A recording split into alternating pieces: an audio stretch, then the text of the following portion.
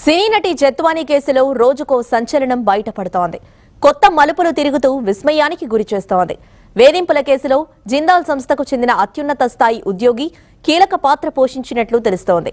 అదేవిధంగా నాటి వైసీపీ ప్రభుత్వంలో సకల శాఖల మంత్రిగా పేరొందిన సలహాదారు అప్పటి ఇంటెలిజెన్స్ చీఫ్ పిఎస్ఆర్ ఆంజనేయులతో కలిపి కుట్ర వ్యూహరచన చేసినట్లు సమాచారం. అంతేకాదు క్షేత్రస్థాయిలో ప్లాన్ పక్కాగా అమలయ్యేలా ఫాలో అప్ కూడా చేసినట్లు టాక్ వినపడుతోంది.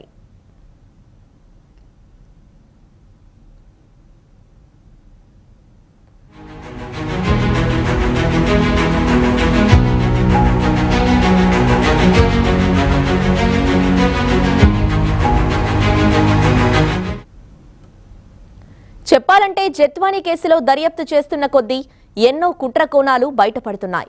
వాస్తవానికి ముంబై పారిశ్రామికవేత్త సజ్జన్ జిందాల్ తరపున జగన్ సర్కారులో సకల శాఖ మంత్రిగా పేరొందిన సలహాదారు ఏపీలోని వ్యవహారాలన్నీ చక్కబెట్టారు.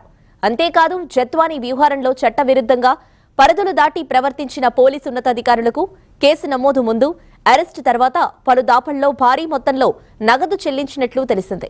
ఇందుకు సంబంధించిన వివరాలన్నీ పోలీసులు సేకరించినట్లు సమాచారం.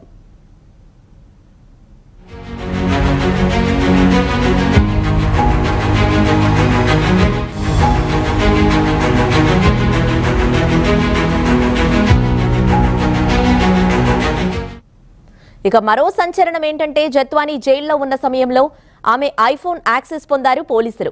చట్టవిరుద్ధంగా కాంటాక్ట్ నెంబర్లు ఇతర సమాచారం అంతా తీసుకున్నారు. అందులో జత్వానీ సన్నిహితుల వివరాలు తీసుకున్నారు. ఇక ఆ సమాచారం అంతా జిందాల్ సంస్థకు చెందిన అత్యున్నత స్థాయి ఉద్యోగికి పంపారు.